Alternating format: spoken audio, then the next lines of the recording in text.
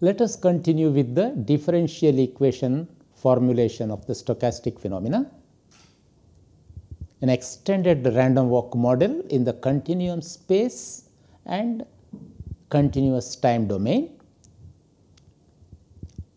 After working with the Chapman Kolmogorov version of the Markov process by Taylor expanding the occupancy probability Wxt, we arrived at a Taylor expanded version of the CK equation, Chapman Kolmogorov equation, which read like this tau dw by dt partial equal to minus d by dx xi bar x tau wxt plus half d2 by dx square xi square bar wxt plus of the order of tau cube uh, of the order of xi bar cube, where these averages, xi is the displacement, there the averages of the transition probability defined as xi to the power n p say x prime or any point let us say it could be x p x xi tau d xi over all values of xi. xi to the power n principle is a function of x and tau. And p was a transition probability whose meaning is that it is the probability that a system transits by a length xi at the point x during a time tau. So, this is the moment of that transition probability distribution and it is normalized automatically when you integrate with respect to xi. To proceed further with this equation, we have to ascribe some properties of the distribution function. First, we will discuss what is it that we expect. Then we will establish some kind of a underlying nature of the distribution which can result in that expectation. So, for that we start let us say that xi bar the first moment which is a function of x and tau has a property that it is some u x into tau. So, what does it mean? It is the first moment of the transition probability function. If the random walk was symmetric, equal probability for over left and right, there is no bias, then obviously xi bar should have been 0. There is no net length. The existence of a xi bar implies that there is some bias in the random walk. So, that bias can come in by some kind of a velocity which makes the system to be transiting with a little preference in one direction. It is like a flow or a drift what it is called. And if that velocity let us say is it exists, it is a background force and it is u, then in a small time tau, tau is the time taken for a jump, the, dis, the net displacement that it would suffer is the measure of that bias. So, that is why phenom phenomenologically we write xi bar equal to some velocity into the time between two successive steps. We next you write the second property that we write is that the xi square bar the second moment of the jump length distribution function will be we will anticipating from a dimensional perspective it should have a dimension of let us say length square by time if xi represents a length and then again that is also proportional to tau. This, this is a very important assumption. We will of course justify this later, but right now let us make this assumption that there exists a constant of the system called d which could depend on the position of the um, random walker and 2 is just a factor, it is a way of defining. So, if you are working in real spatial dimensions, it will have the dimension of meter square per unit time. If you are working in a configurational setting where the random walk could be taking place on some other variable, let us say the size of a particle or it could be um, it could be random walk in the dollar space or rupee space, then it will have corresponding uh, definition. But basically the, the key point to note here is the second moment also we assume to be proportional to time and we further say that the higher moments xi to the power n averages they will be of the order of tau square and higher for all n greater than or equal to 3. So, with this assumption, we can substitute and rewrite equation uh, I mean the differential equation that we derived. We can now substitute uh, these xi bar and xi square bar in these equations and then we arrive at tau dw by dt, w is a function of x and time plus it is an order tau square. So, we will write it as tau square, uh, we can write it as an order tau square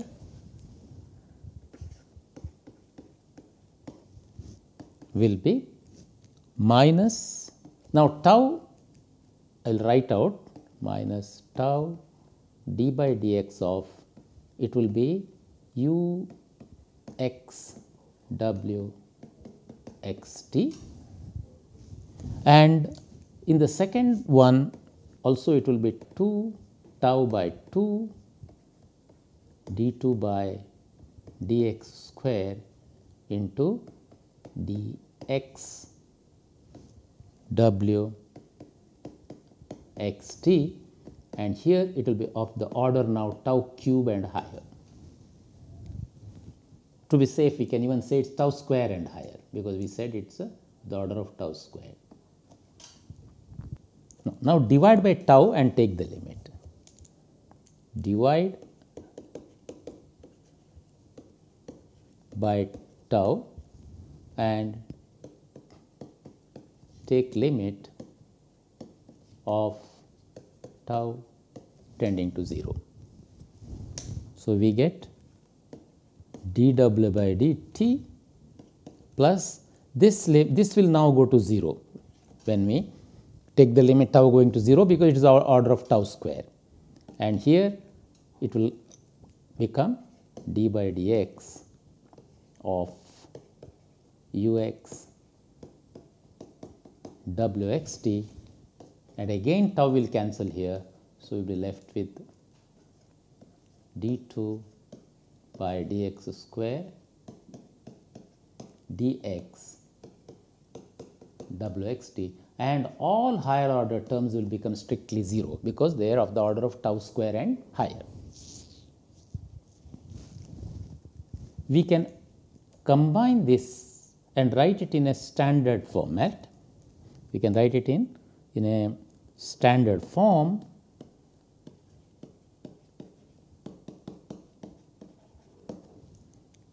that is dw by dt will be equal to d by dx of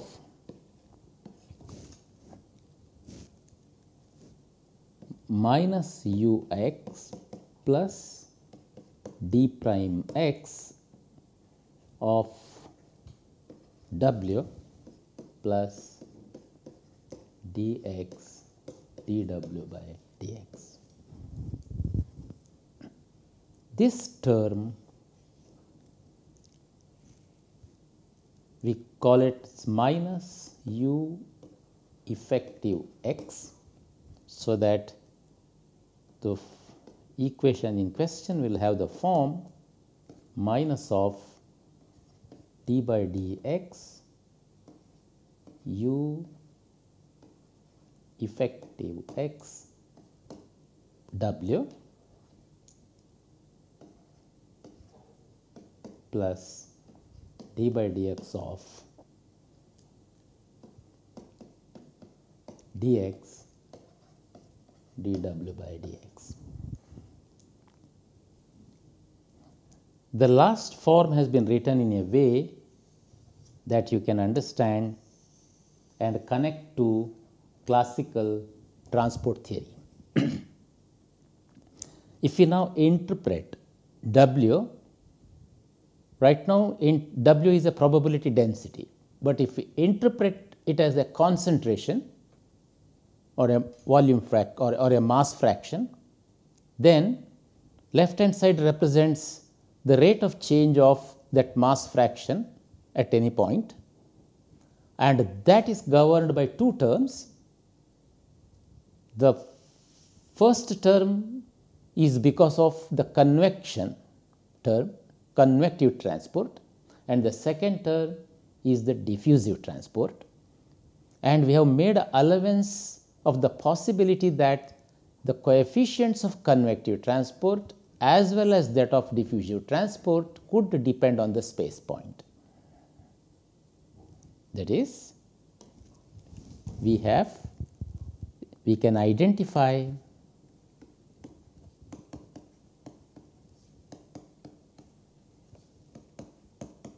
the equation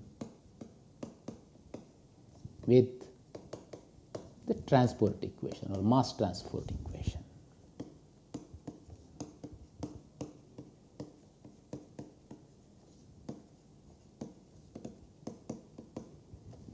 or convective diffusion equation.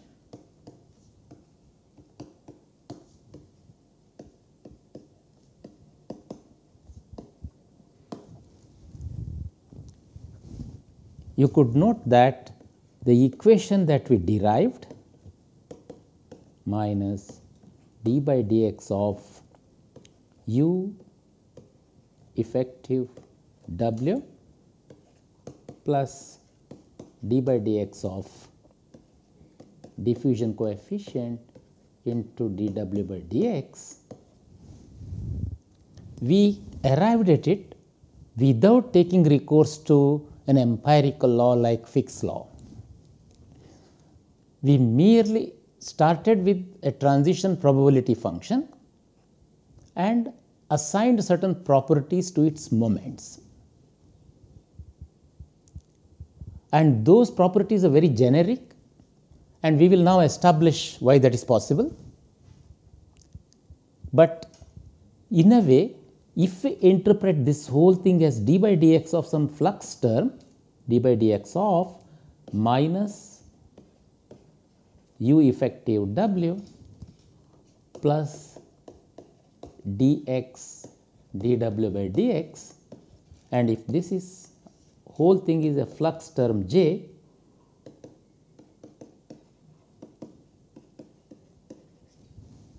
we notice that the second term is equivalent of a Fick's law. The flux is proportional to the gradient of d by dx. This will be actually minus flux term we should say, let us say minus term. And then the first term on the right hand side this term is actually a drift or a convective term. So, in, in random walk or stochastic uh, literature, the drift term, the convective term is often called as the drift term. So, this is equal to uh, the drift term plus diffusion term. and u will be the drift velocity. Let us now move forward to understand how one can have those special properties that we saw, the ones we wrote here, the property that the mean is proportional to tau, mean square also proportional to tau. Let us establish from broad principles. Proof of, it is not a proof, but some kind of an arrival or understanding, but let us say proof of proof of moments of transition probability.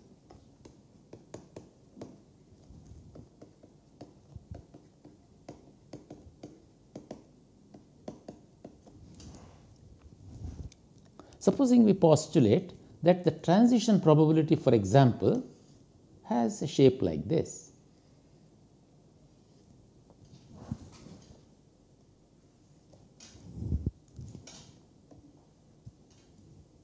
A Gaussian. All that we are saying is the probability that the random walker transits by a length L, uh, length uh, xi is distributed according to a Gaussian, whose variance is proportional to time. So, this is the sigma and this is the xi bar. On an average, there is a preference, it is not a symmetric, it is, it is a symmetric function around xi bar. So, that is if I can postulate a distribution P of let us say x xi tau. The transition probability has 1 by sigma root 2 pi e to the power minus xi minus u tau whole square divided by 2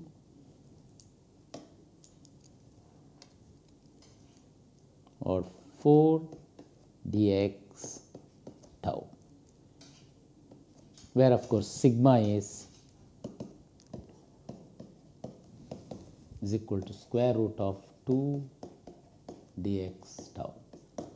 Supposing we postulate a Gaussian, then we know that its moment, first moment xi bar will be integral xi p d xi and that will be 1 by sigma root 2 pi integral xi e to the power minus xi minus u tau whole square by 4 we can call it a sigma square. So, we will call this whole thing as 2 sigma square since we have already defined sigma this will be 2 sigma square d xi. If we make a variable transformation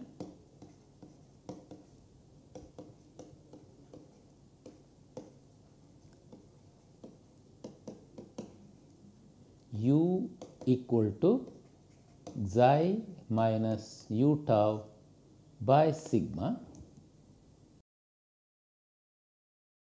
Then xi goes over to t. d xi will be sigma dt. And the integral for xi bar will be xi bar will be 1 by sigma root 2 pi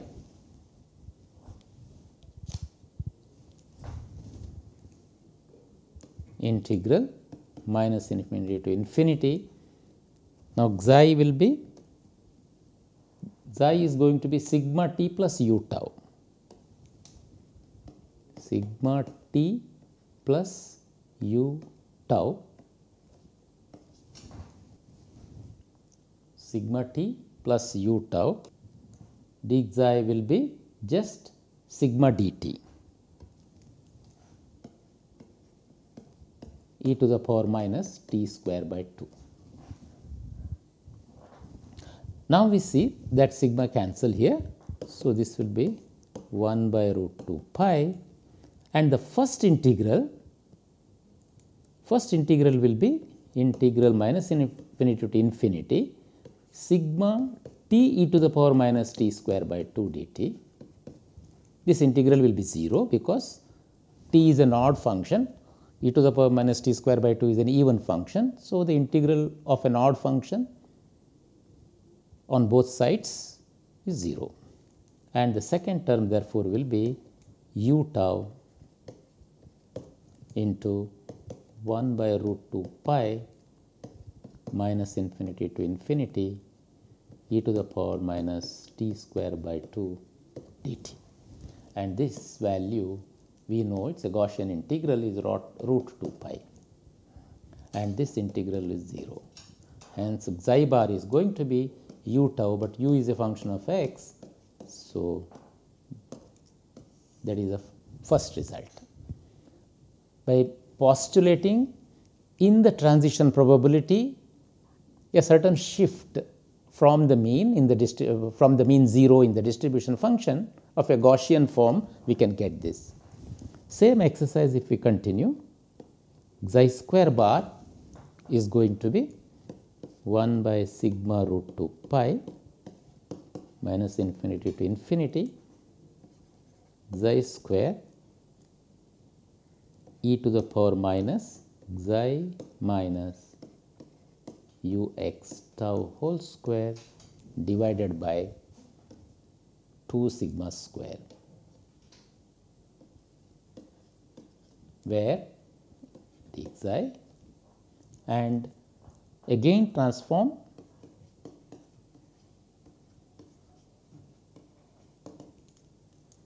T equal to xi minus ux tau divided by sigma. Implies xi will be the sigma t plus ux tau and d xi will be sigma dt. So, when we do the substitution, we will have xi square bar is going to be 1 by sigma root 2 pi integral minus infinity to infinity and xi square. So, xi square is going to be the square of this quantity, square of this quantity here. So, it will be sigma square t square plus u square tau square plus 2 sigma t u x tau. So, it will have 3 terms. It will be sigma square t square plus u x square tau square plus 2 sigma, sigma is also a function of x, but we will keep it 2 sigma u x t tau e to the power minus t square by 2 into this will be sigma dt. So, this sigma cancels and we are left with the and this term is now odd term because it is the integral of t. So, this term will vanish. So, we will be left with 1 by root 2 pi sigma square minus infinity to infinity t square e to the power minus t square by 2 dt plus 1 by root 2 pi u square u square they do not depend on t u square x tau square into minus infinity to infinity e to the power minus t square by 2 dt. Since t square average is the variance and now the variance is unity, so this will be simply sigma square plus u square x tau square. And, and since we have our since sigma square is 2 d tau. That is the way we have defined xi square average is going to be 2 dx tau plus u square x tau square. You would notice that our xi square average has a term other than 2 dx tau, but since it is of a higher order, when we take finally the limit, in the limit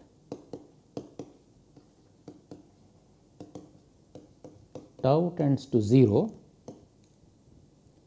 u square x tau square by tau tends to 0, but 2 dx tau by tau tends to 2 dx. Hence, we tend to we neglect the second term.